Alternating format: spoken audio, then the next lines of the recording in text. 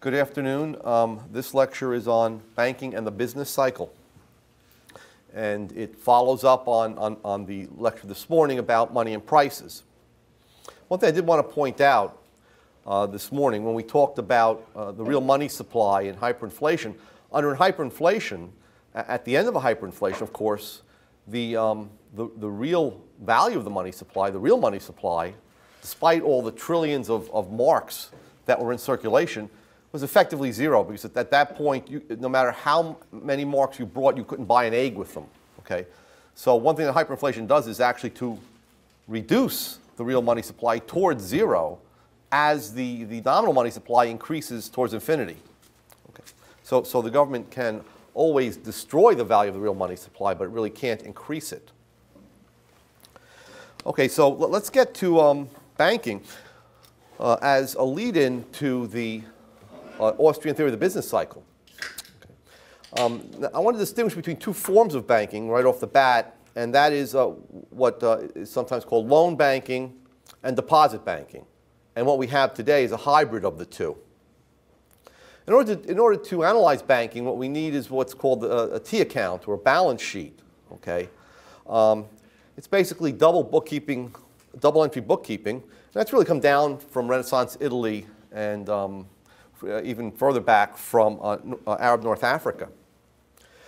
But um, basically, uh, in a T account or a balance sheet, what we have is on the right side is the amount of the various assets contributed by various individuals. Okay, um, that is either equity owners or, or um, bondholders. And on the left side, we have the total assets of, of the business firm and uh, what they're invested in.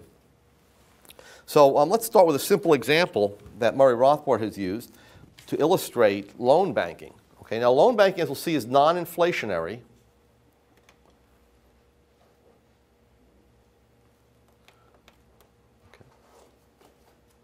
If someone wants to start a, a bank they take $10,000 of their own funds, and that appears on the right side as uh, equity. And um, immediately then they have assets on the left side of, of, of $10,000. Okay. Now, what they've done is, is, is they've taken, they've diverted uh, cash from other uses and have began, begun this bank. So there's been no addition to the money supply. That's, that's a key point. Okay. Once that loan has, once that bank has been started, begins operations. Okay? Uh, a loan is made, let's say, um, for, for $9,000 in exchange of present money. Um, let's say uh, there's a 10% interest rate. So the loan is made from, from the Rothbard Bank to uh, an individual named Joe. Okay? Um, and $1,000 of cash is kept on hand as part of the assets. Once again, there has not been any increase in the money supply. There has been a transfer of money from Rothbard's cash balance to Joe's cash balance. Okay, so money has changed hands, but it has not increased. That's an important point.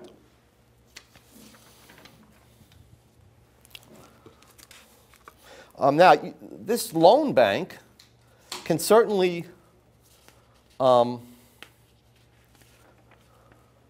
issue stock and, and, and, and broaden its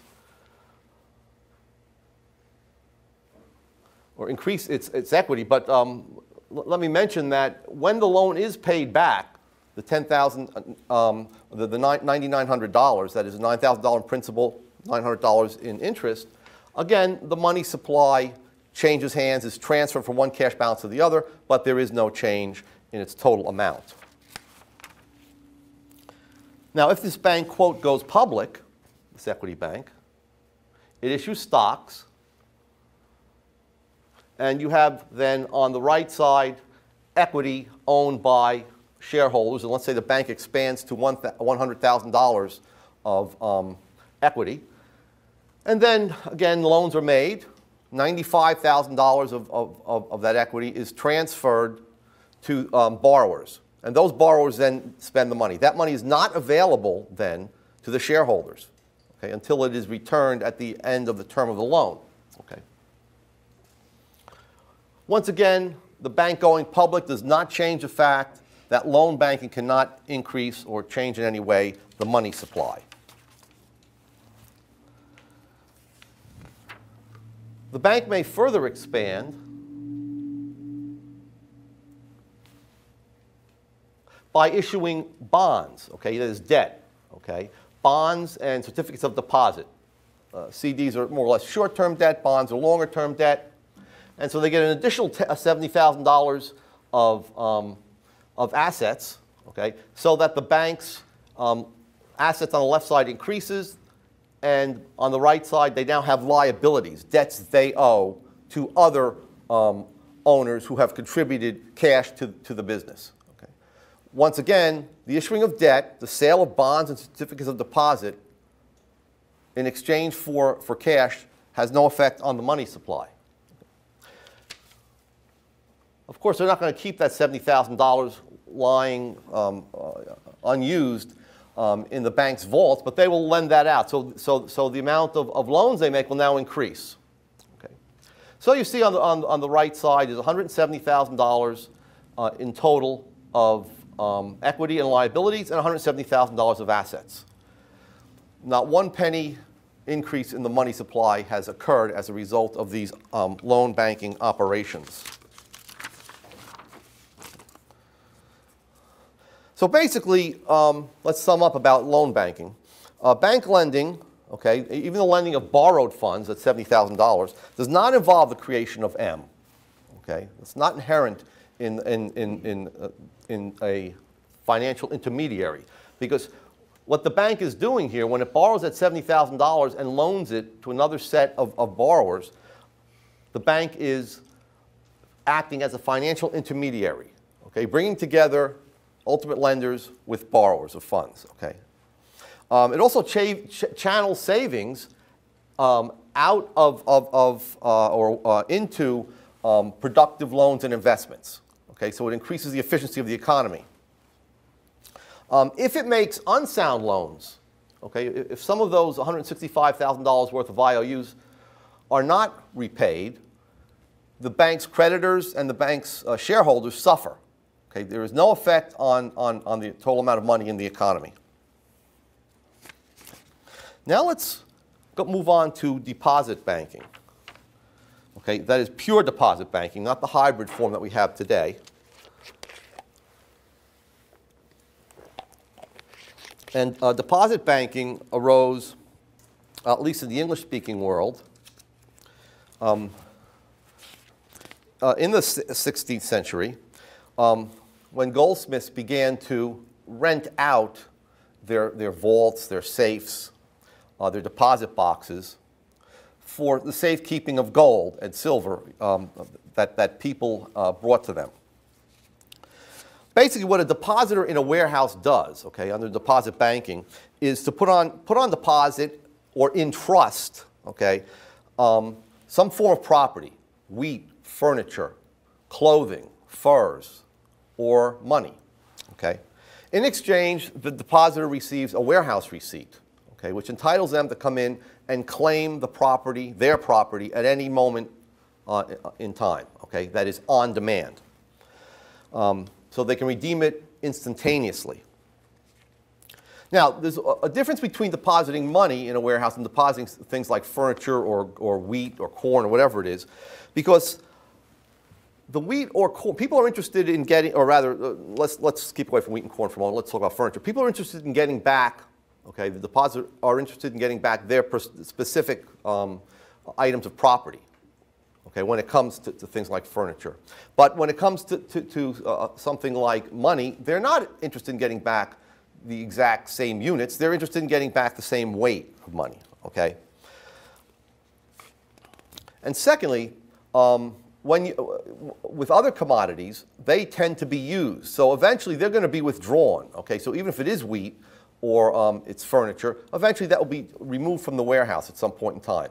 However, money can perform its job as a medium of exchange by remaining on deposit and having the warehouse receipt be transferred from one person to the next. Okay, that's certainly not true of furniture. If you sell your furniture, the, the person buying it wants wants the use value of it. Okay, they want to use it. Now, over time, the warehouse receipts of the, the more trustworthy um, warehouses begin to be used as money. Okay, so if I purchase a horse from you for three gold ounces, okay, I could go withdraw the three gold ounces from the warehouse, um, then carry them to you, and then purchase the horse. Okay, after which you would then redeposit them in your account at the warehouse. So a lot of trouble and a lot of risk can be taken out of that. The risk of loss, the risk of getting robbed, or having the, the, the, um, the gold lost, lost in, in a fire. A lot of, of, of that risk uh, and, and um, effort can be removed if I simply transfer the right or the title to that um, amount of gold to you. Okay, so in that case, then the warehouse receipts begin to be used as what we call certificates of depo- uh, uh, uh, gold certificates. Okay. Now, the use of these paper gold certificates do not increase the money supply. And the reason why they don't is because the, the, the money is being transferred for storage in the um, facility, in, in, in, in the money warehouse.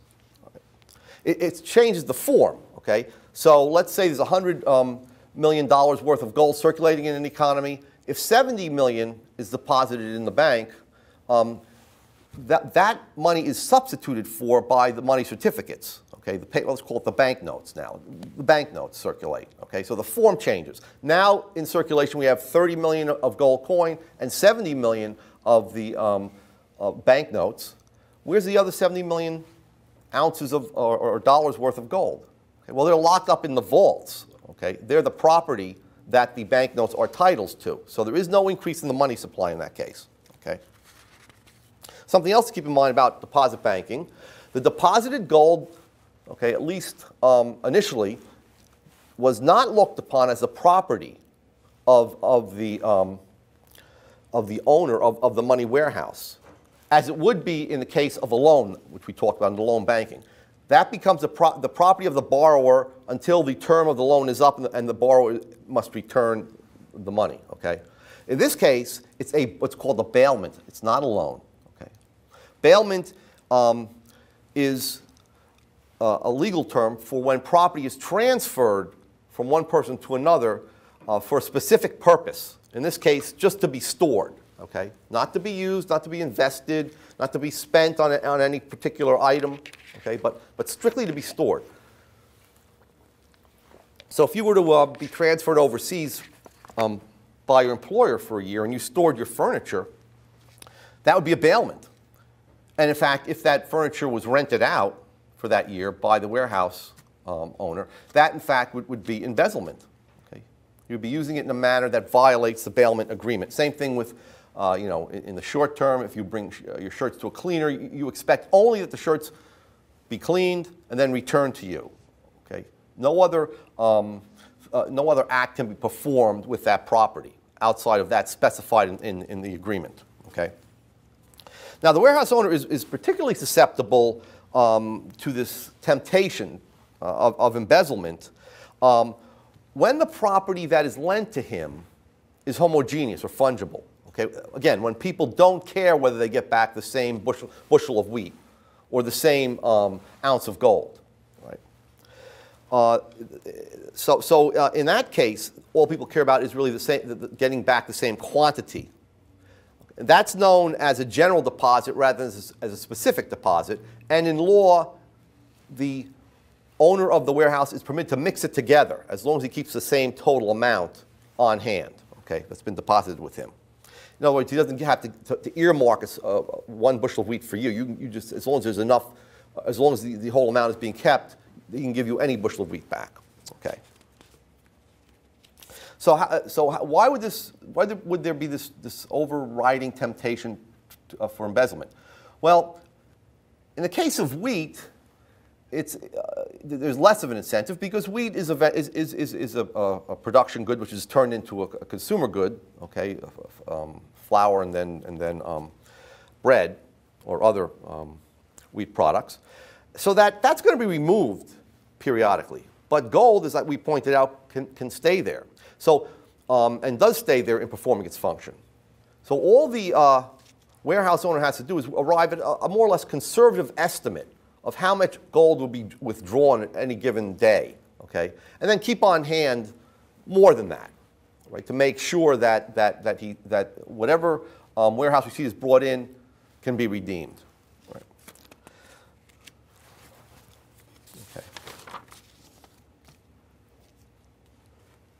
Now, the English goldsmiths um, began to uh, embezzle not by physically lending the gold out, okay, keeping all the gold on hand, but in fact lending out or printing up pseudo warehouse receipts and lending them out at interest. So now the warehouse was earning a rent from or a fee from storing the gold, but as, uh, in addition, it was also earning um, uh, interest from lending out these pseudo warehouse receipts. And in fact, this was challenged in the courts, but by the 19th century, the, uh, the British, it was, very, it was very unclear, by the way, the, the, bailment law in, in, the common law. Um, relate, the common law relating to bailments wasn't, wasn't clear. But by the mid-19th century, British courts had ruled that the general bank deposits, okay, those that were outside of safety deposit boxes, uh, were debts and not bailments, so that they were seen as loans to the banks, and the banks, during that period of time in which it, it kept those deposits, was permitted to loan them out. Okay, that, that's how it was resolved legally in the British courts. I think it took a little longer in the Spanish courts if you read uh, um, Huerta de Soto's book. Okay, I think, it, I think there was a court case maybe in the early 20th century. So when depositors are treated as creditors rather than uh, bail, bailers, those who give property for a specific purpose, um, the gold becomes an owned asset of the bank. The gold suddenly appears on the left side of the balance sheet. Okay, now, when, when you bring your shirt or your furniture uh, to someone to perform a specific function with it, that is not their property, okay? Or even your sa uh, uh, safety deposit box in a bank is not considered on the asset side for the, um, uh, of the bank, okay? Or if you store your jewelry in a, staying at a hotel for a couple of weeks, if you store it in a hotel safe, they don't enter that as an asset, okay? It's clearly a bailment, okay? But the banks are permitted then once it was um, ruled that, that these were debts and not bailment contracts, it was ruled that they, uh, once that ruling occurred, they were able to count them as assets. Okay. So what we had initially was 100% reserve banking. Okay, given that the banks held all of the gold for which they had issued warehouse receipts. So if this is the Rothbard Deposit Bank, and I'm using examples from his book, um, Mystery of Banking, if people deposit $50,000 in gold, well, their total liabilities are $50,000. They owe their depositors $50,000.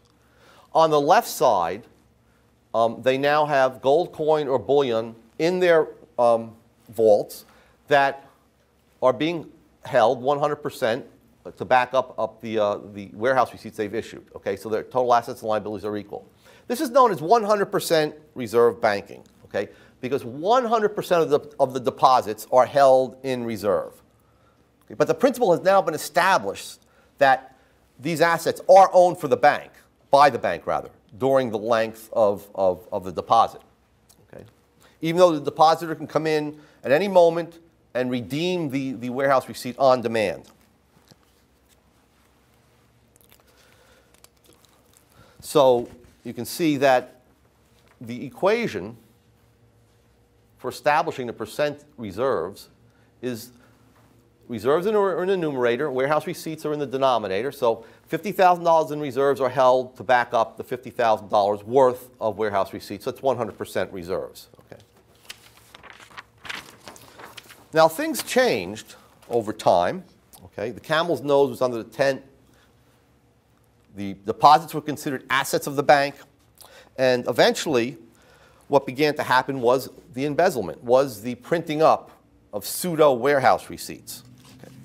Um, once that happened, we, we got a situation in which we had less than 100% reserve banking.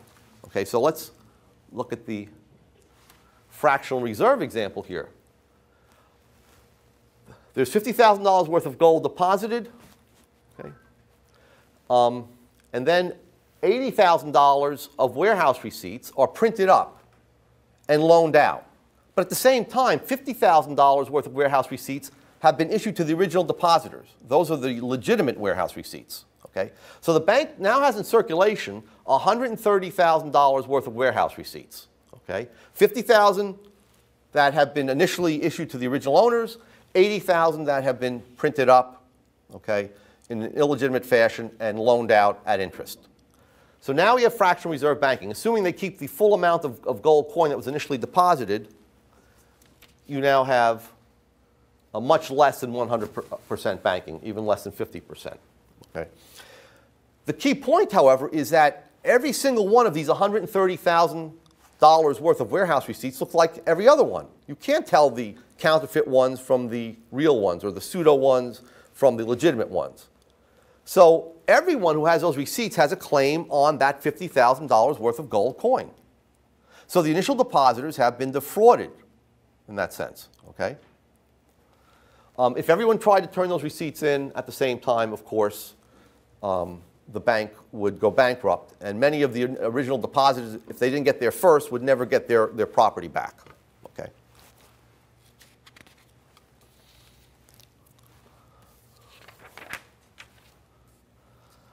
Now, something else to um, we can say about fractional reserve banking. There is a tendency, an inherent tendency to deflation in the sense that when those $80,000 in loans are paid back, notice what happens.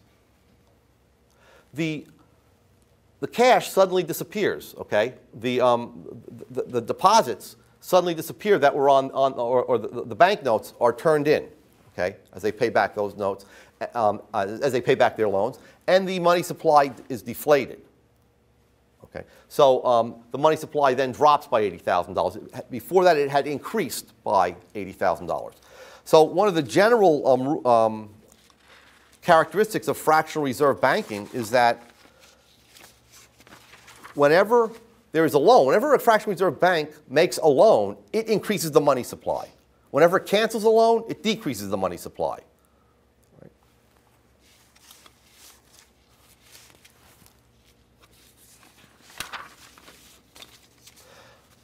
Now, let me just mention uh, very quickly something else here. Um, there are two basic form of forms of warehouse receipts okay, that had been issued. One was a bank note, which was the, the, the, physical warehouse receipt, but another was an open book account. Some of the larger depositors preferred not to carry the, the paper notes around, but to have an account in which balances were kept at the bank, okay, and they could write checks on these open book accounts. So they were basically checking accounts, and then transfer the balances, which stayed at the bank, okay, but were transferred to uh, a, a, second party, okay, that had, had uh, sold something to the, to the business.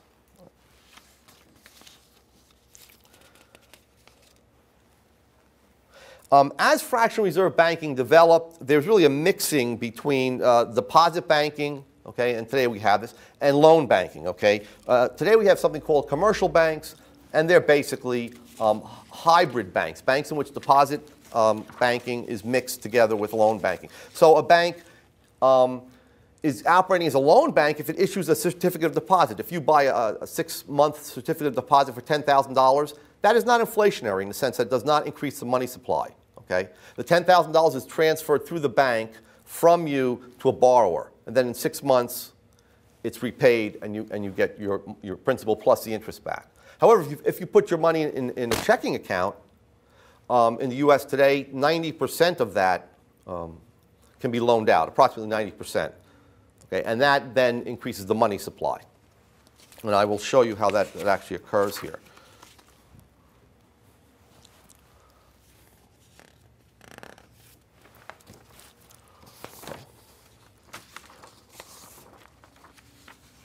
All right, so uh, right, right, before I show you how it actually occurs, let me just say, um, sum up uh, fractional reserve banking. Okay, first of all, it's inflationary. Okay, it's inherently inflationary because it, um, whenever it makes any loans, it increases the money supply. As, it, as in this case, it increases the money supply by $80,000, and that increases prices eventually. Okay. Um, to the extent that, that the, the, the, number, the amount of warehouse receipts exceeds the, the, the deposited gold, that amount of warehouse receipts operate as inflation or operate in an inflationary manner. Secondly, the fractional reserve banks can create money out of thin air. Okay, when they print up these receipts over and above the, the amount of gold that has been initially deposited, there is an increase in the money supply. Okay, and it's done, you know, ex nihilo, that is from nothing. Okay, you suddenly have, have um, money in the economy. Uh, they're also inherently bankrupt because the time structure of their assets do not match the time structure of their liabilities, meaning the following.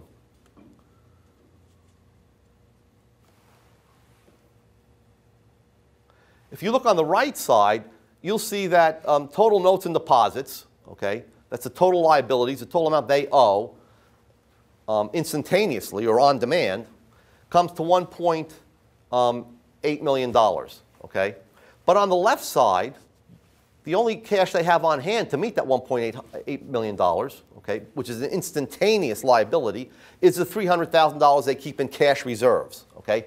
The rest is loaned out at different maturities, okay, for greater or, or shorter periods of time.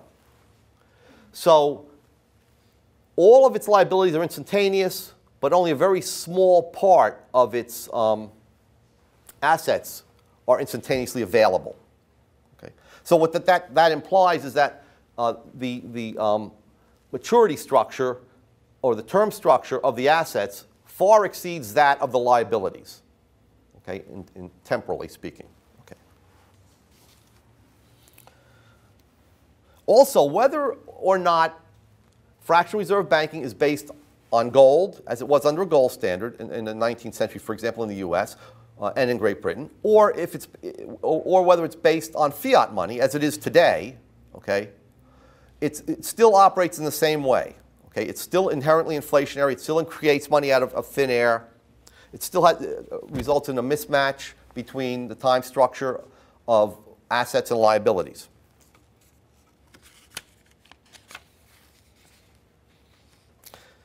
Now, there, there, are two difficulties that limit fractional reserve banking before you get a central bank, okay, in the absence of a central bank.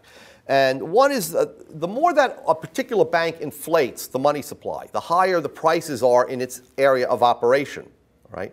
And with higher prices, what happens is that people in that area begin to take these banknotes and buy things in other areas where prices have not gone up yet. And when those notes are returned to other banks, okay, the, the first bank's notes, those other banks then demand their gold. So if one bank inflates more than surrounding banks, it's going to lose gold reserves to those other banks because it's going to drive prices up in its area and discourage exports from that area and encourage people to, to purchase imports from, a, from abroad. So there's going to be um, a, a, a disequilibrium between the notes it gets from the other banks and the notes that other banks gets from it. Okay, so it's going to, it's going to, it's going to the other banks will have um, accumulate more of, it, of its notes, and the only way you can pay for that difference, okay, if, if the notes were equal, they would just exchange notes. But if, if, if, the other bank holds more of your notes and you do of its notes, you have to pay that difference in gold. So the bank begins to lose reserves, people begin to lose confidence, and they risk a bank run. If everyone comes into the bank at the same time, obviously this bank would immediately collapse or collapse after a very short time. Okay? And secondly, in order for the warehouse receipts to function as substitutes for gold or for the government notes, which, whichever is the, the, the base money, uh, the bank must build up a reputation for honesty and safety. Okay? Uh, and, and, and make people believe that it's able to instantly redeem its deposits. So the bank has to be conservative in some sense. Okay? If it starts to make um, bad loans and people see that, that uh, borrowers are defaulting on the loans, they're going to begin to come to the bank and demand their gold. Okay. All right, now let's look uh, at how fractional reserve banking increases the money supply okay, beyond just one bank, how, how the system as a whole will operate to increase the money supply.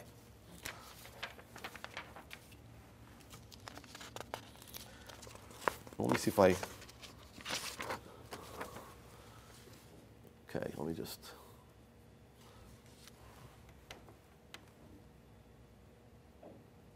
okay, zoom in a little bit. Let's take the First National Bank on the left side, okay? Um, looking at this T account here, okay, notice that um, the liabilities, the demand deposits or check accounts, we'll talk in terms of checking accounts now, uh, are $10,000. Okay, initially it has reserves of $10,000. But since it's only going to keep a fraction of those reserves and wants to loan the rest out, and, and the incentive, of course, is to earn interest, what's going to happen is that, let's say it keeps only 10% reserves, and loans out $9,000. And what it does is it makes an auto loan, okay, to someone, okay? Now that individual then will take the money and let's say purchase an automobile. The automobile dealer um, will then take the money to his own bank and deposit the $9,000 that he received for the auto, automobile in the second uh, national bank, let's say. And that bank will not want to keep the full $9,000 just lying there not earning interest, but will loan out, let's say, $8,100, which is 90%. Now, notice what has happened. As soon as the, um, the automobile dealer redeposits that money, what has happened to the money supply? It's now increased by $9,000 because the original depositor still has his checking account for 10,000. But now the automobile dealer has $9,000. That $9,000 was not in the economy prior to that loan being made and the money being redeposited. Okay? Now, this is exactly what happens when you deposit money in your checking account. As I said, approximately 90% is loaned out. Now, let's say the, um, the, uh, the, uh, the, Second National Bank makes a loan to someone who wants to start a small dry cleaning um, establishment and um, makes an $8,100 loan.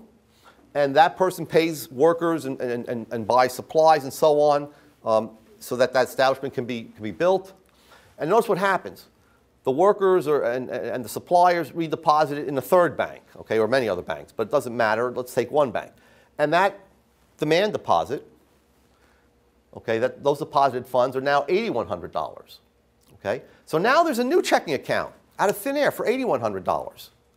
So there was, had been a 9,001 established in the second bank, and then uh, an $8,100 checking account. And you can see here, this is a multiplicative process. It's called multiple um, checking uh, demand deposit expansion. Okay, and then of course this bank makes a $7,200 loan. It goes on and on with the, with the sum of new deposits getting smaller and smaller at each point, the amount of new deposits. Okay. There is a, a very simple formula that we use to tell us what the um, multiplier is. Okay? That is, by how much can each dollar deposited in a fractional reserve bank be multiplied in increasing the money supply? And that is simply 1 over the reserve requirement. So in today's world, uh, uh under the Federal Reserve System, there's a legal reserve requirement of 10%, which means that if you, if you divide 1 by 0.10, you get a multiplier of 10. Now, what that tells us then, in this case, um, the total change in demand deposits down here, checking account money, is 10, okay, as that money is redeposited throughout the banking system, the multiple expansion process I was talking about, times the original $10,000 that you or I have deposited in our bank, okay? Because that $10,000 can serve as reserves for $100,000 of checking account money. Okay, so out of thin air, 90,000 new dollars are created. And why is it only 90,000 and not 100,000? Because obviously someone took $10,000 out of their currency, they've had currency, and they put it in a bank account, okay? And then, so you have to subtract the 10,000 from the currency, but on the other hand, that became the basis of $100,000 of demand deposits. And so what you get then is 90,000 new dollars in the economy operating to raise prices and to have other, the other effects that inflation has on the economy.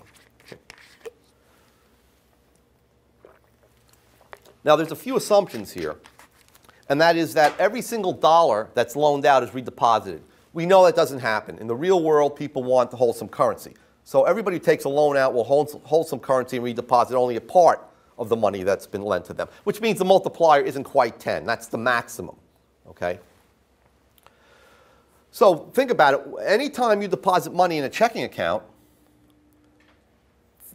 through the, the, you're giving more reserves to the bank, and the bank can then loan out, and that becomes loans to someone who redeposits it in another bank.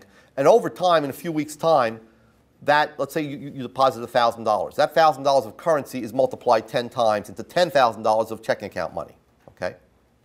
So the money supply increases as a result. On the other hand, if you withdraw money from the um, banking system, if, if you need $10,000 in cash, uh, which you, you, you withdraw, what's going to happen is that the bank is suddenly going to find itself with insufficient reserves, and it's going to have to call in some loans. Every, every day loans are coming into the bank, which they then they make new loans with because they don't want to lose interest. But in this case, some of those loans will have to be canceled, and it'll be a reverse multiplier effect. So in a real world example, people uh, during the um, uh, holidays, from, uh, during Chris, from Christmas through, through New Year's, or actually before Christmas, take a lot of money out of American banks. They make a lot of small purchases during uh, the Christmas uh, season, and they carry around a, lot, around a lot more currency. So let's say they take out um, $50 billion of, of, of, of currency from their checking accounts. Well, what would happen is, ultimately, that will be multiplied 10 times, okay, and that will result in a, a deflation of, the, of demand deposits by $50 billion, okay? Just by taking out that 5 billion. Now, the Fed knows that. What do you think the Fed does during that period? Right. And I'll show you how in a moment. What the Fed will do then is to, to offset that is that it will create $5 billion of reserves out of thin air and then inject them into the banking system, and we'll, we'll, show you how they have instruments to do that. And then when that occurs, that will offset the reverse multiplier process. Now, after the Christmas season is over, what do they do as people um, put back their money, currency as, as, as, the sellers, the retailers, um, redeposit the currency into the banking system that, they, that, that they've um, received in exchange. Well, then the reserves of the bank begin to increase, and the Fed drains the money out of the um, banking system. Okay? Now, how does the Fed do that? Oh, one other thing. Remember um, uh, the uh, Y2K scare? Everyone thought that the um, computers would go down and, and that somehow their checking accounts would be lost or their um, uh, savings accounts and so on, that, that, you know, that, that, that there would be a, a, crisis in the sense that the records would be wiped out on the computers. So what did the Fed do to calm fears? What it did was it injected, okay, and you can see a big spike in reserves. It injected tremendous amount of reserves into the system right before Y2K, okay? And the banks kept those reserves in their vaults. They didn't really loan them out. But after, after, after the um, Y2K uh, passed without any incident, they drained all of that money out of the system. Okay, now how do they do that? How do they inject it um, and, and uh, inject reserves and, and, and drain reserves out? Well, let's take a very simple example. Let's say that I have a, a car for sale, a used car. Now, since 1980, the Fed can literally buy any asset. Up to that point, it could only buy short-term government bonds. It can buy long-term government bonds, okay? It can, it can purchase now foreign government bonds. It can purchase, um, it's, permit, it's, it's permitted in an indirect way to actually purchase stocks, okay, by making 0% loans to, to, to, banks. Okay, so it can, it can almost it can literally almost purchase any asset it wishes. Okay, um, so let's say it, it, purchases my car. Now, how would the Fed go about purchasing my used car for five thousand dollars?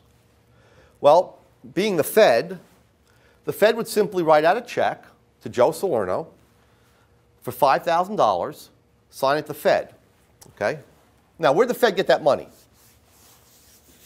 Just created it fact, it doesn't even have to be uh, on paper. It could be just a blip in a computer, okay? That it, it transfers funds directly to my bank account. The bank, your bank now has 5,000, if I, when I redeposit that check in my, my bank account, when I deposit the check in my bank account that was drawn on the Fed, um, or the money is wired to my bank account, doesn't matter. My bank has 5,000 new dollars in reserves that were previously not there.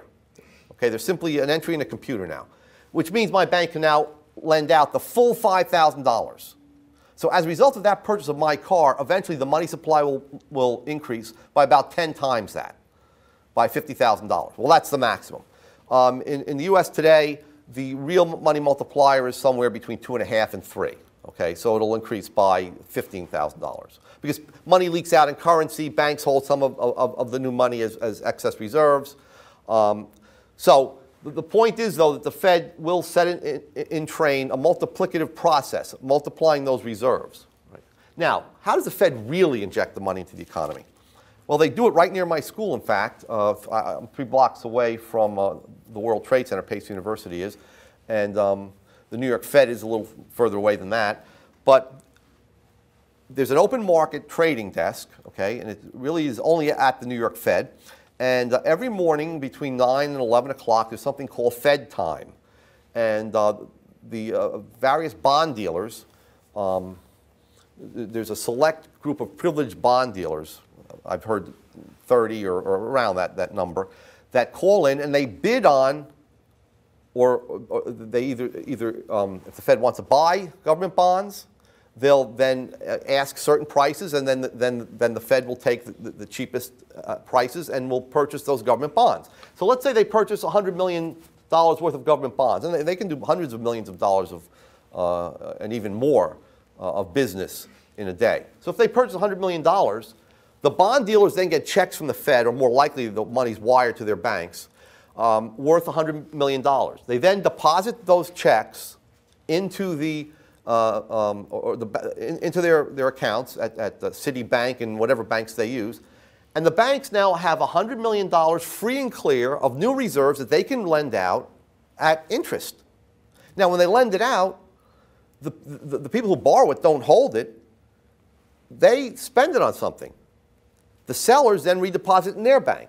Their bank now has more reserves. So that, that multiplier then, that multiplier process then um, uh, is precipitated, and the um, $100 million in a few weeks' time is turned into 1 billion new dollars. That's the maximum uh, in uh, new checking account money. That's how the Fed increases the money supply. That's known as an open market operation. The Fed uses that on a daily basis.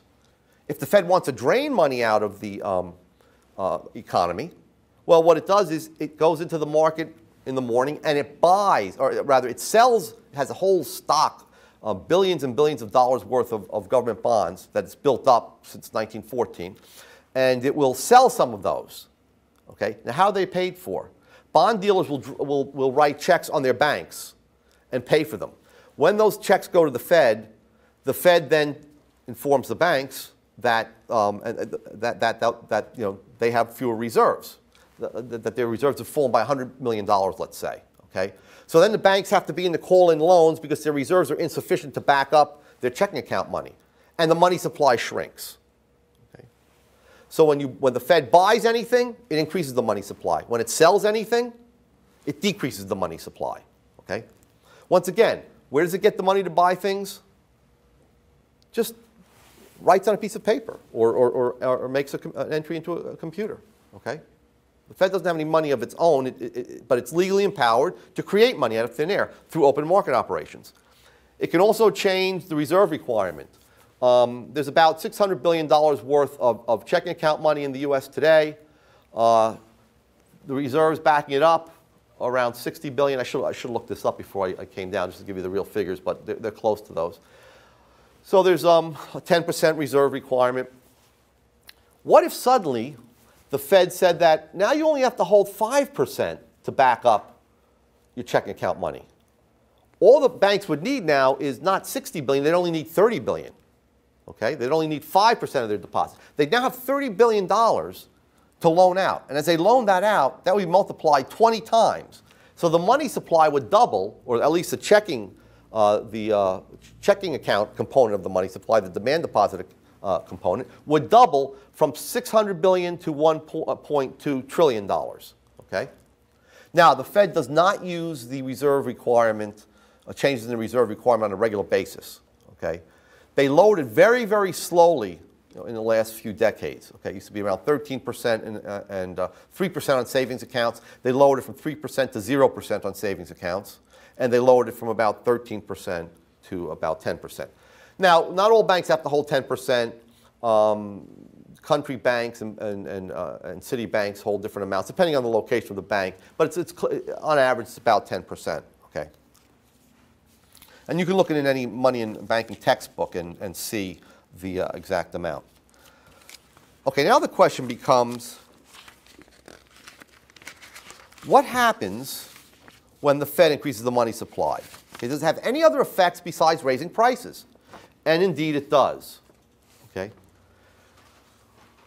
Now let me focus in on this. Remember, this money, or these reserves, these new reserves, are injected into the economy through what? Through the loan market, as opposed to um, when money was simply printed up by governments and they spent it on military goods or they spent it on um, consumer goods or whatever it was they spent it on. Now, new money is created through the banking system, okay, in, modern times. The banks, let's say the, the interest rate is initially 10%, that's equilibrium, okay, where you see the, the, the um, first two supply and demand curves intersecting. in order to get people to borrow the new money that has, or the, uh, the reserves that have been injected into the um, banking system, the, the, at 10%, people are borrowing as much as they want to. to. To induce them to borrow more, what do you have to do? You have to lower your interest rates. So as supply shifts out of, of, of, of the new credit, the credit that's created by banks, okay, that is added to the supply of voluntary savings, the amount of money that people voluntarily withhold from spending on consumption goods and put into, into the banks, okay, and into other financial intermediaries. Okay, so now added to that is this fictitious money, or this, it's actually real money, but it's money that's, that's simply printed up out of thin air. And that pushes the interest rate down, let's say in this case, to 7.5%. Suddenly, businessmen, entrepreneurs, um, see opportunities for profit. Okay? They see that they can get uh, a 9% return on a particular investment project or an 8% return on a particular investment project, which wasn't worthwhile investing in before because the uh, borrowing rate was 10%. Now, if they can borrow at 7.5, they begin to borrow more money and invest it. What happens? That money is invested in purchasing new capital goods. So as I'll show you in a moment, symbolically, the um, capital goods industry suddenly um, experienced a big boom. Okay? So more factories are constructed, the construction industry is stimulated, the oil drilling industry is stimulated, um, the shipbuilding industry is stimulated, uh, the uh, pow electric power generating industry is, is stimulated. So you begin to get an increase in the amount of capital goods. But have, have uh, people's time preferences changed? Have people really voluntarily decided to postpone some of their consumption into the future? No. Okay, this money's been created out of thin air. So what, what you get then, I'm going to have to zoom out again. Hold on here. Okay, we have our um, two sets of industries here. Okay, on the top we have the consumers goods industries. Bottom we have the capital goods industries. C represents consumer goods. K represents capital goods. So the Fed enters the market, makes open market purchases, expands the money supply. Bank reserves go up. You see R goes up there. That drives the interest rate down, as I've shown you. And now two sets of effects are set into motion. Okay? Imme immediately, the one set of effects is that at the lower interest rate, businesses borrow the additional funds. They increase their investment, which drives up the demand for capital goods. As the demand for capital goods increase, the prices of capital goods go up, which means that the profits in pi, the Greek symbol pi represents profits, in the capital goods industries are increased, which stimulate those industries to expand. Okay, so as they expand, they raise the wages to get more workers. Okay, the demand for, for uh, labor in the capital goods industry goes up, and eventually they begin to produce more capital goods. All right, now that's what happens in the capital goods industries. When we have more voluntary saving, we know then that there's going to be less um, consumer goods demanded. And, and that allows the workers to be transferred from the, capital, from the consumer goods industry to the capital goods industry. But here, that doesn't happen. Okay? What happens is that the, worker, the workers are paid that new money, right? Um, and, and they begin spending it. They don't save it. The people who are paid that new money do, do not save it. Their, their time preferences haven't changed. Okay, they spend most of it on consumers' goods. But at, at, at, the beginning, when the money's first issued, nothing happens in the consumer goods industry. The, the consumption saving ratio stays the same. People don't cut back on their consumption and increase their saving. So um, when the workers get paid that additional money, what, what you see happening is that um, the demand for consumer goods goes up, the price of consumer goods go up, profits of consumer goods go up. That's only after all of this has happened. And then the, um, they're, they're losing, uh, uh, well, initially, actually, notice that I have a bar over these. Ignore the arrows. Initially, nothing happens, okay? There's no change in demand, price, or, or um, profits in consumer goods industries. In fact, they begin losing laborers. The laborers respond to the higher wage rates in the capital goods industry, where the money is being spent, and they, they leave the consumer goods industries. Costs rise in the consumer goods industries. So we get a fall initially in consumers' goods, okay? In the production of consumers' goods. But, as I mentioned before, once the workers get paid those increased wages, the new money, what happens is there's a reaction. And the reaction is that now, after all of these things have happened, you get an increase again in, in, in consumers' goods because the extra money has now come into the hands of consumers, uh, an increase in prices, an increase in, in, in profits, and costs go up even further. And what happens is that now the capital goods industries find that because of their rising costs, these new projects are not profitable. Not only that, but notice that if the government stops inflating, what's going to happen to the interest rate? Right. They don't, unless they keep adding new money month after month after month to the um, banking system, okay, through, through increasing reserves, what's going to happen is that this supply of, of, uh, of, of, of savings is going to shift back to this point, which is the amount of voluntary savings. And the interest rate is going to jump up from 7.5% to 10%. At the same time, the costs are rising to the capital goods industry. So, what happens to their profit margins? They become squeezed or they're turned into losses, and, and you begin to have bankruptcies in the capital goods industries. And if you'll note in the real world, when we have recessions in the US or elsewhere, um, do you find uh, uh, uh, retail stores like Walmart's and Sears uh, and restaurant chains like McDonald's going out of business or cutting back substantially? Of course not. What firms or what industries suffer huge losses? Construction, Construction steel, power generation, okay? Why? Because they have been overexpanded. So that is the, re the recession is the adjustment process. The recession from the point of view of Austrians, from, uh, and causal realistic analysis, is simply the readjustment of production back to the consumer's true time preferences. The consumers do not want more capital goods, meaning they don't want to wait for the consumer goods into the future. Okay? They have not changed their preferences for consumer goods now and consumer goods in the future. They've stayed the same. Okay?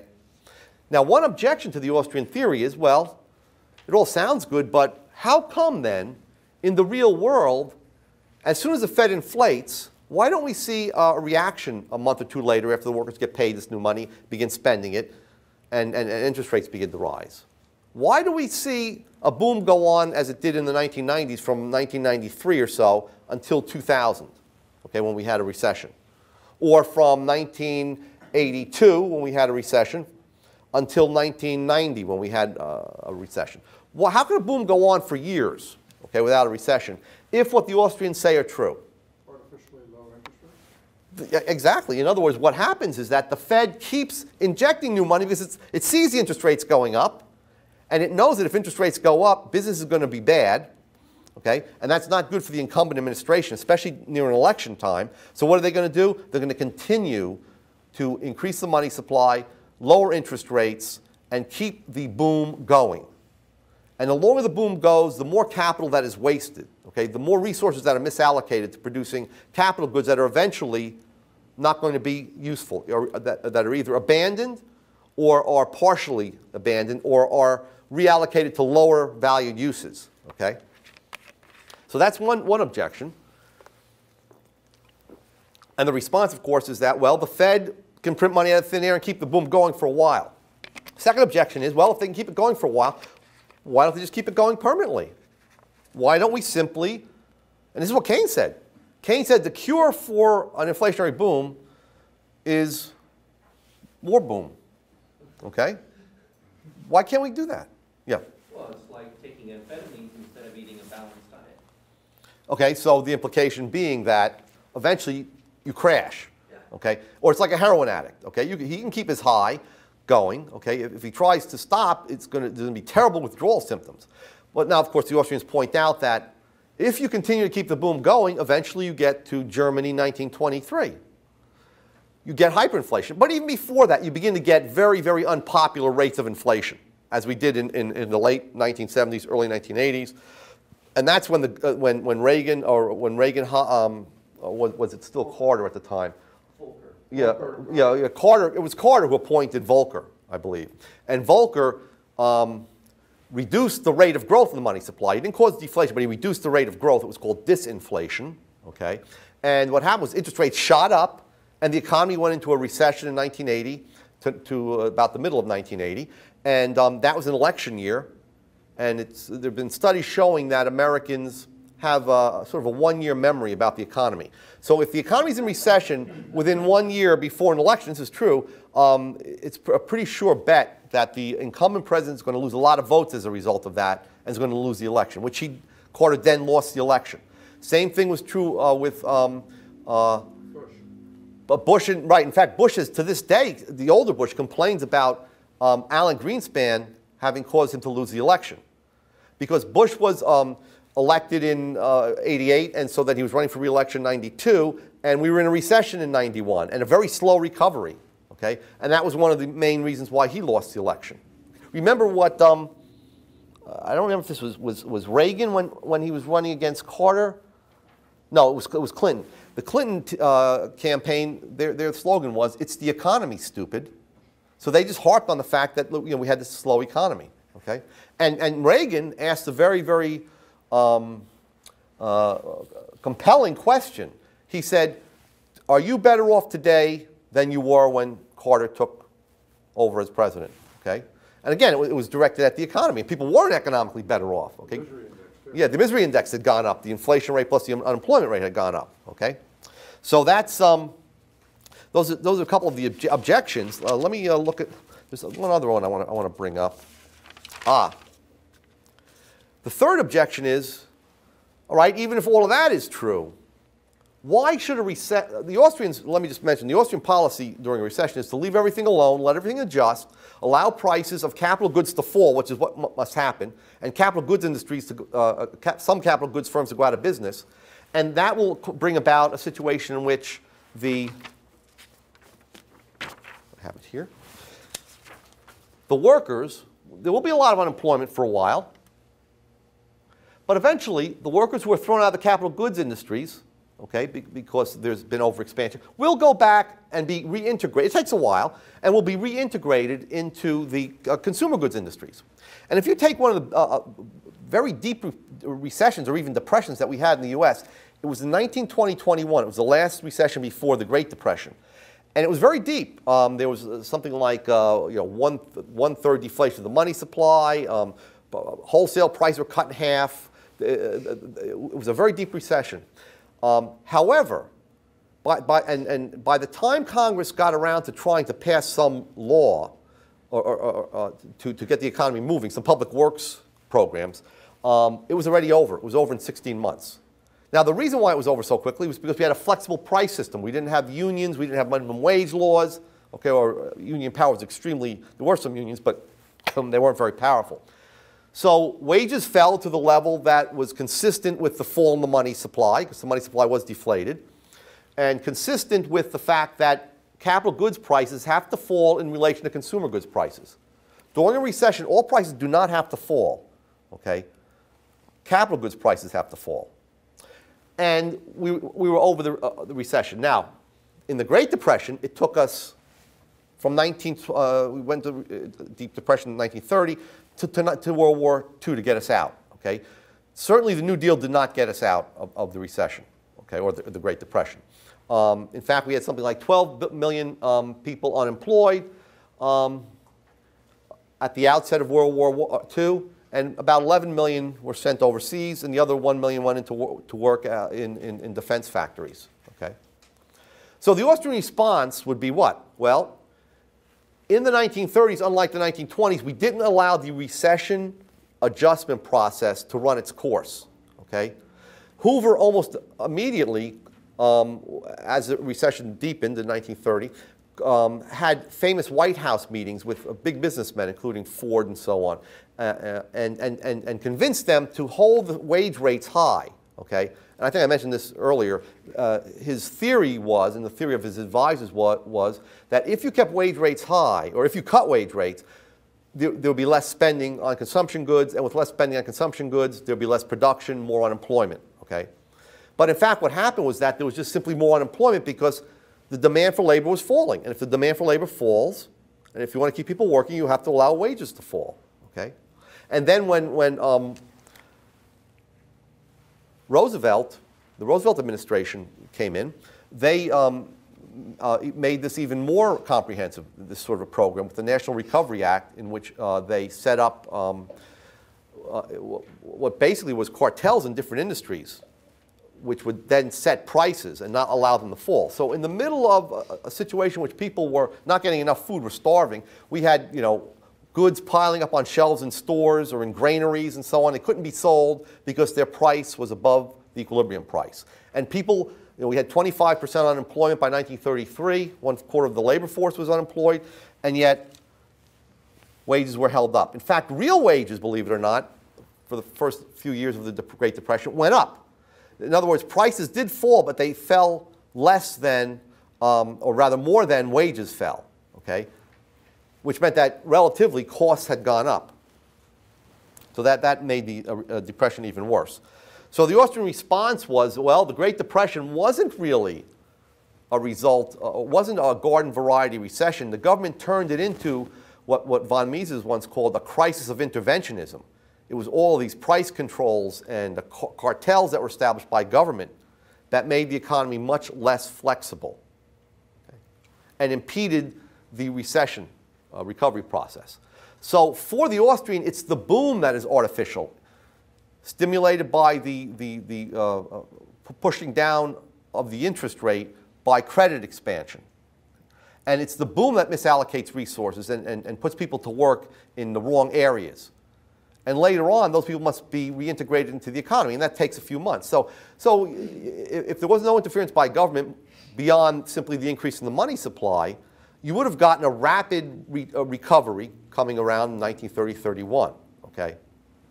Uh, something else happened, and that was we got deflation in, in, in uh, 1931 through 1933 as the banks began to collapse and people's checking accounts and savings accounts disappeared into thin air.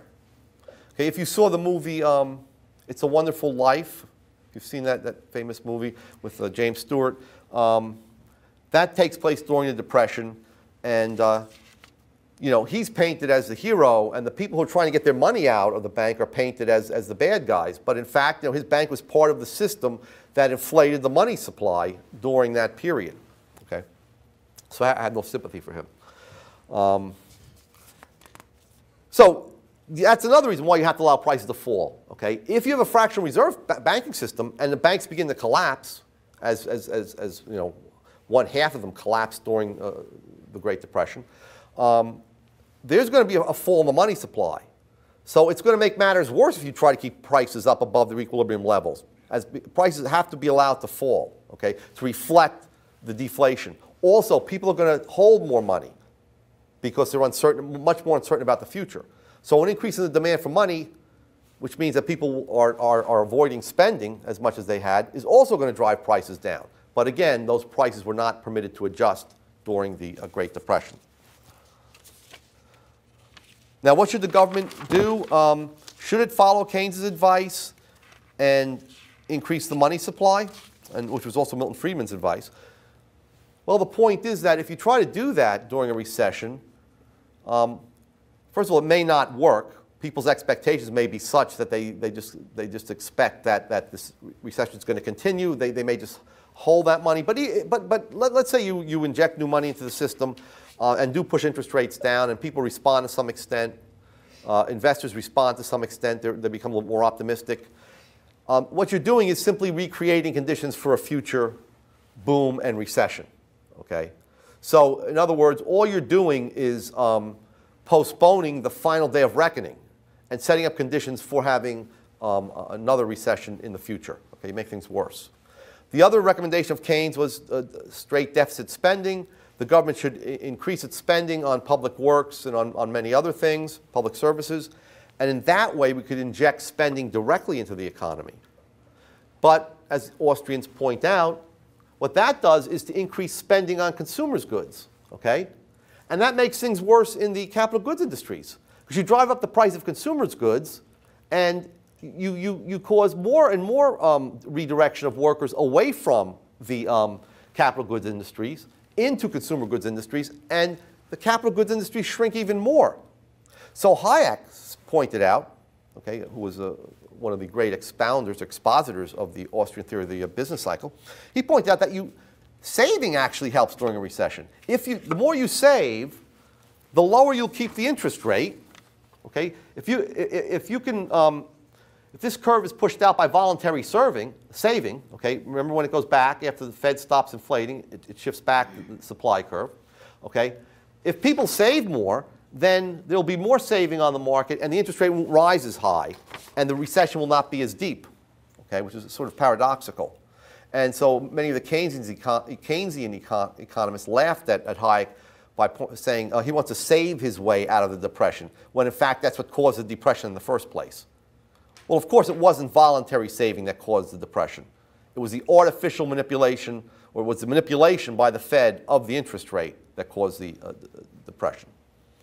And if I might add one more thing, the 1990s were very light, and even today, uh, even uh, you know, uh, um, the, the, the first decade of, of the 21st century, it was very like the 1920s, okay? Because in the 1920s, um, the reigning uh, uh, theory, okay, uh, uh, or view of, American economists and British economists was that, you know what, if we can just keep the price level stable, if we can prevent consumer prices from rising, we won't have any more recessions or depressions. Because it's inflation that, sets the, uh, that, that sows the seeds for the next recession. So if we can keep inflation from breaking out, then we will not have a, a depression. Now, Irving Fisher was the um, most prominent American economist, and he was a, a, a forerunner of Milton Friedman. He was sort of a proto monetarist. So he advised the Fed to maintain an increase in the money supply such that you would keep prices stable. And in fact, that's what occurred. From about 1921 to 1928, prices, wholesale prices, were pretty much stable. Even may have, have, have gone down slightly, okay? So Fisher said this is a new era. He called it the new era, okay? Just like uh, Greenspan called um, the 1990s the new economy. And he said, uh, this is the era of perpetual prosperity. We now know how to control the economy in a way that we will have, we have banished forever depressions. So that was, uh, you know, he was saying all these things in the late 1920s. But what happened, and, and what American economists who were just focused on the um, consumer price index did not recognize, was that we had a tremendous burst of productivity during the 1920s. Remember, it was called the Roaring Twenties. okay? When automo- uh, mass-produced automobiles began to be sold, um, refrigeration came in, uh, electric, li- electric lights, electricity was spread throughout the country, and so on. So we had tremendous productivity increases. So um, what happened was that the Fed had to increase the money supply at a very high rate just to keep prices from falling, because we know when we have increases in supplies of goods and services, prices will fall. And so, so the inflation was masked by the fact that prices didn't go up. And, and Murray Rothbard, in his book America's Great Depression, estimates that the money supply increased at about 7% per year. Now, what did that do? Well, it didn't raise prices because prices would have fallen, prevented them from falling, but it did push down the interest rate artificially. Okay? And the Austrian economists at the time saw this. In 1924, 23, uh, Hayek toured the United States. He was only something like 23 or 24 years old. And he saw what, what Fed, how, how productive the American economy was becoming, and he saw what Fed policy was like. And he went, when he went back to his business cycle um, research institute that he was working at in, in Vienna, he uh, wrote some things that said that the, the American economy is due for a, a, a, a great crash, a depression. Okay? Uh, what we did see in the later 20s, of course, was the, the asset bubbles. We saw a bubble in the stock market and in real estate. Okay? So inflation was manifesting itself that way. Uh, Mises also predicted the Great Depression. Um, there's stories by his students that when um, they were walking home after a seminar, Fritz Machlup, who was a famous economist in his own right and came to the United States later on, was walking with Mises, and um, the main Austrian, the biggest Austrian commercial bank was the Credit Anstalt, which was one of the first banks to fail in Europe during the Great Depression. And um, Mises would, would always point to the bank as they walked by, and, he, and, he, and, he, and he would say, "There's a great crash coming, and that institution is going to be one of the first to go." And he had actually been offered um, the presidency of that bank and turned it down. Okay. Now, on the other hand, uh, Mark Thornton has done some research on um, what American economists were saying. I mean, all during the 20s, you- you can look back at, at the, the, the writings of the Austrians, and, and they were saying that there was going to be a recession. The most you can do when you have an inflation is postpone the recession. Okay? You can never abolish the recession. But Irving Fisher, this is uh, September 5th, who- who's really the father of monetarism. Uh, this is September 5th, 1929. He said, uh, There may be a recession in stock prices, but not anything in the nature of a crash. Okay, this is a month before uh, stocks lost 90% of their value. He says, Dividend returns on stocks are moving higher. This is not due to receding prices for stocks and will not be hastened by any anticipated crash, the possibility of which I fail to see. Okay, so he, he, he, didn't see any crash. Stock prices had stopped rising that August, okay, and people were starting to get worried. Um, now, after stocks, even after stocks started to fall in value, Fisher stated on October 16, 1929, um, that stocks had reached a permanently high plateau, okay, because they had stopped rising, but he claimed that on a permanent plateau they were going to stay high, and that he expected, quote, to see the stock market a good deal higher than it is today within a few months, okay, and that in any case he did not, quote, feel that there will uh, soon, if ever, be a 50 or 60 point break below present levels. Okay. However, on, on October 22nd, he was quoted as saying that he believed the breaks of the last few days, now that it had started to break in October, the stock market, the breaks in the last few days have driven stocks down to hard rock, meaning that that 50 point drop, you know, it's not going to fall any more than that.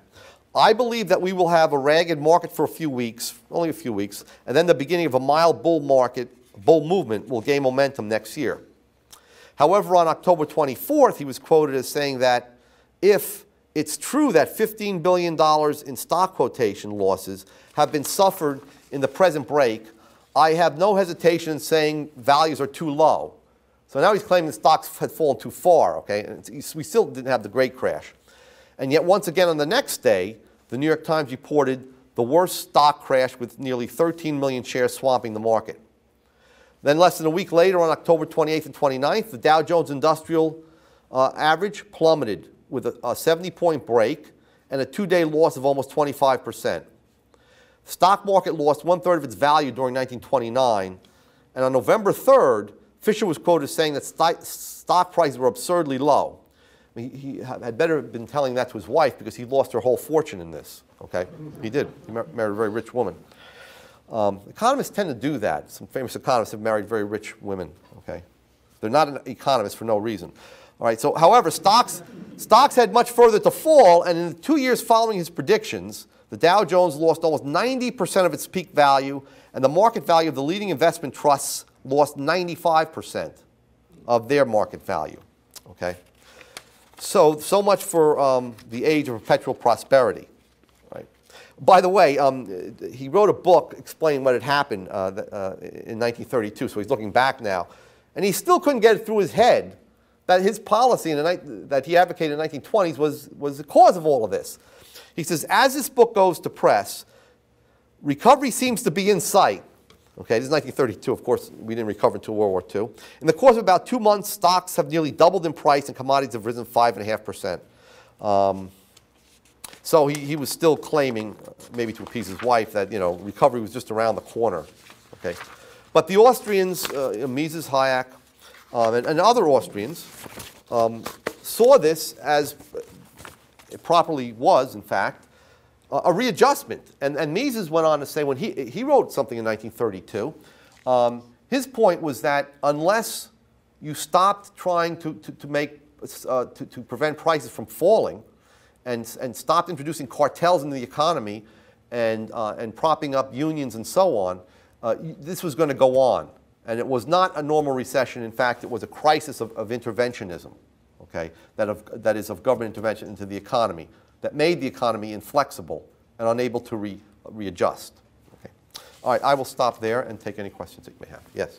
Uh, It seems to me one of the basic problems is our measure of inflation, the consumer price index, is a very poor measure. How can we bring in, and this happened in the twenties and again uh, in the nineties, Right.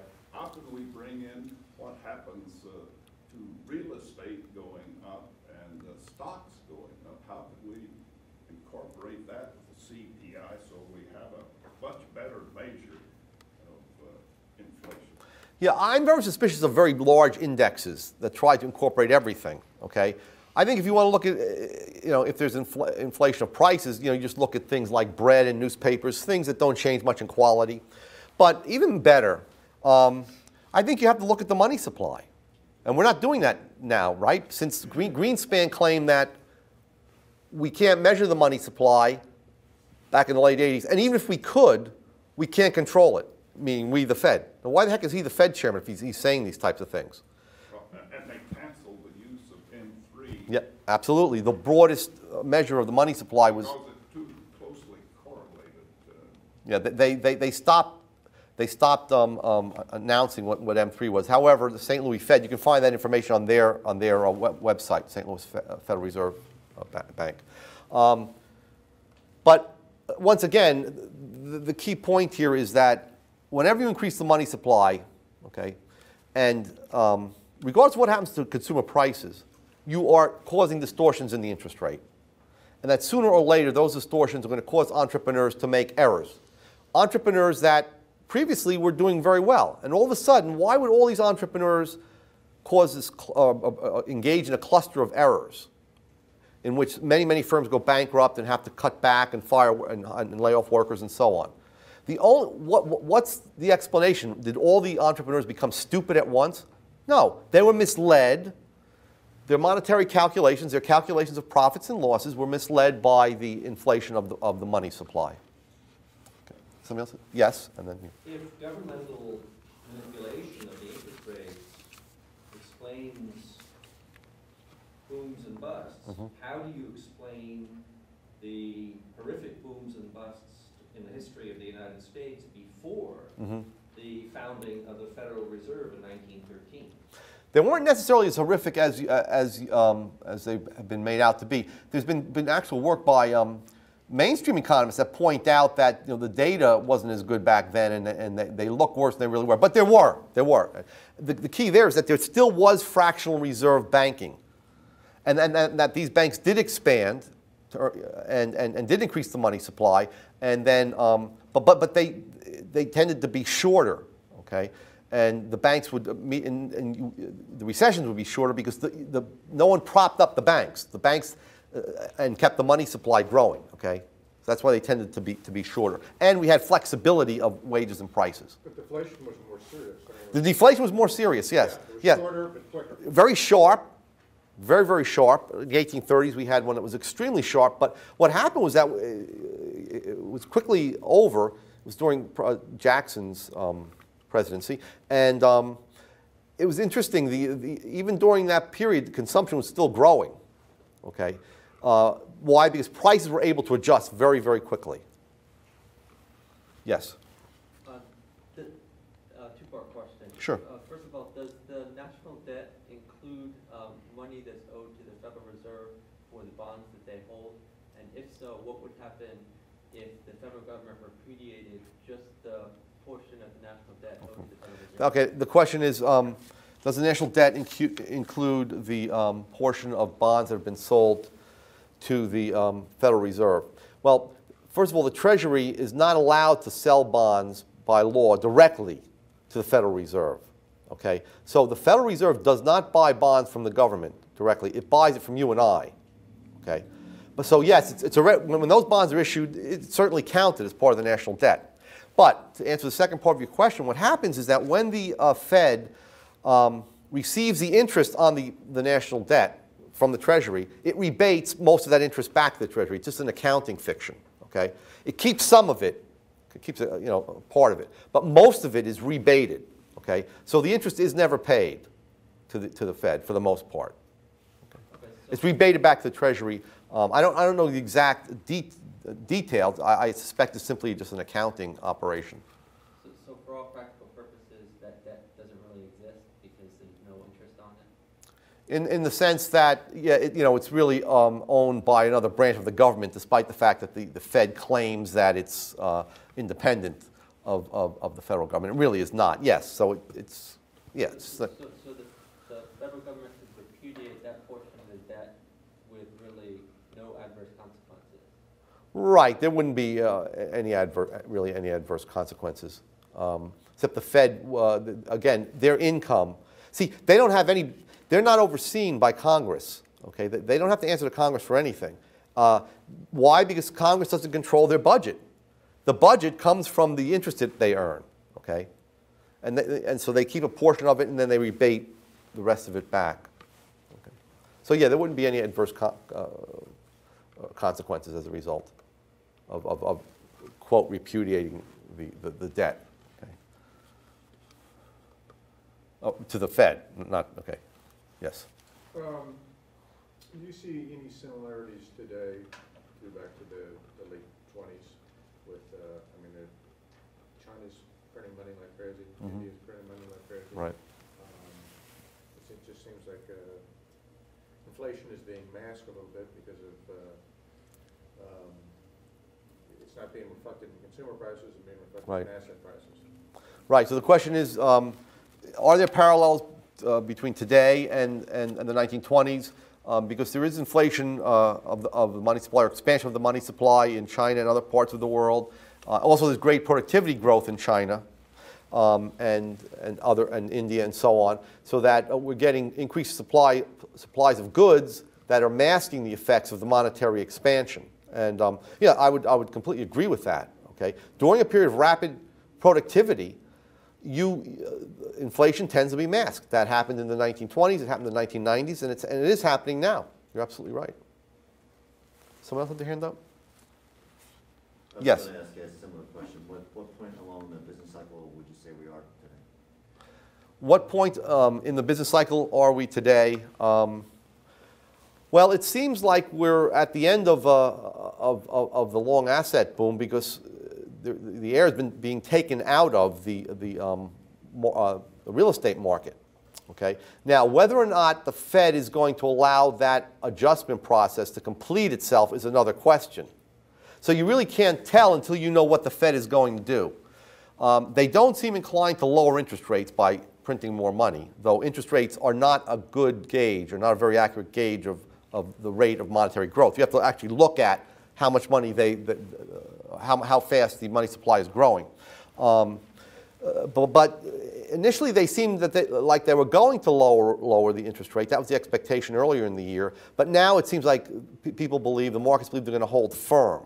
Okay. Now uh, you'd have to look more closely at the money supply figures to see what, what's actually occurring there. But um, again, it really all does depend on, on, on the Fed's reaction. And uh, they're more likely to react if, if, if the market starts to deflate, the the real estate market starts to deflate rapidly, okay, than if it deflates slowly. And uh, one, uh, some evidence uh, that they're concerned, though, is that a few days ago, um, I heard on, on the National Public Radio that um, Bernanke and the Fed were meeting um, to talk about uh, the problems that are beginning to arise as a result of the bursting of, of the real estate bubble, in, especially in the subprime market, and, and, and how they are going to react with regulations, okay, or they're going to discuss what regulations should be put in place. So they are concerned about it. Okay, um, thank you.